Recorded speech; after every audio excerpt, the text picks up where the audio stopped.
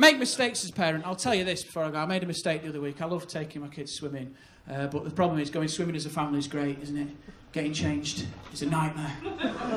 It's one of the most stressful things you'll ever do as a group of people. It's like trying to take your trousers off in your airing cupboard. It's never enough.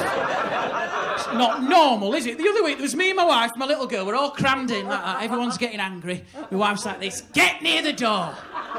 Get near the door! I said, Love, the handle is inside me. I am the door, all right?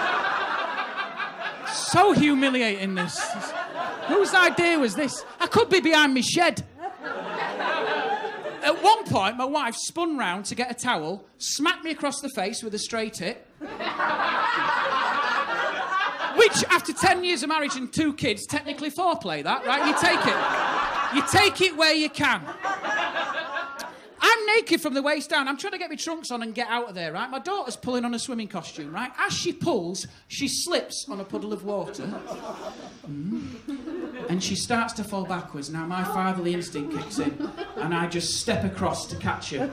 But in doing so, and. You're right to cover your face, love. I, I only wish she'd have done the same, really, looking back. But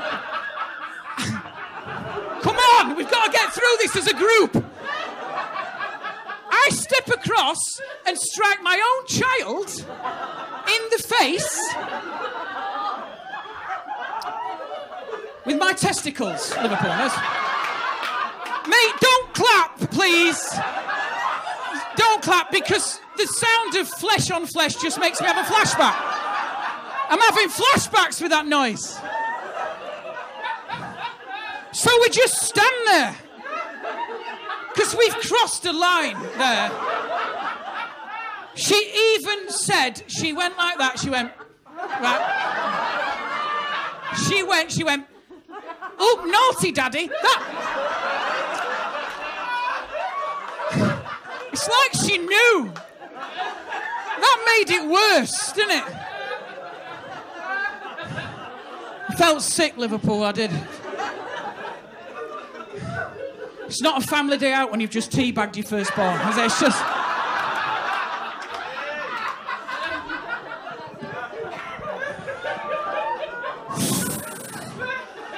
So, um,